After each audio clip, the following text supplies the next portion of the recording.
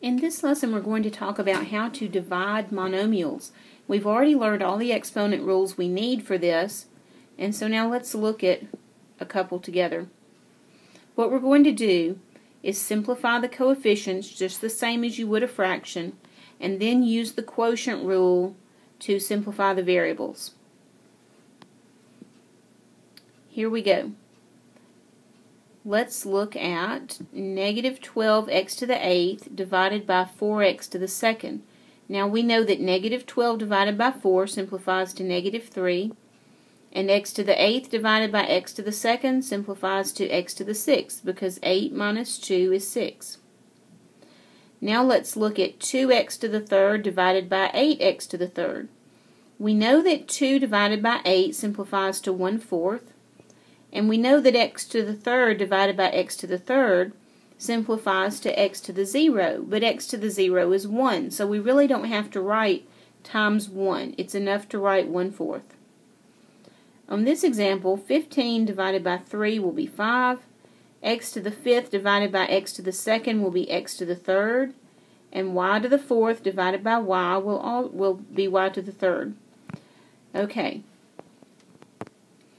now we're going to look at a few more examples together and I really want to encourage you to try these on your own before you watch the answers. Here I have 7x to the 17th divided by 5x to the 5th. The 7 over 5 will not reduce, so I still have 7 fifths. x to the 17th divided by x to the 5th will reduce to x to the 12th. So we can write it as 7 fifths times x to the 12th, or we could also write it as 7x to the 12th over 5. They both mean the same thing. Now let's look at 40x to the 9th y to the 5th over 8x squared y. 40 divided by 8 reduces to 5. x to the 9th divided by x to the 2nd reduces to x to the 7th. And y to the 5th divided by y reduces to y to the 4th. On this one, our denominator canceled out completely.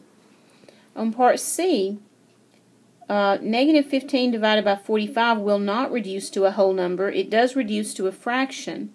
Um, so you can tell that because the bottom number is larger than the top number. So when we reduce negative 15 over 45, we get negative one-third.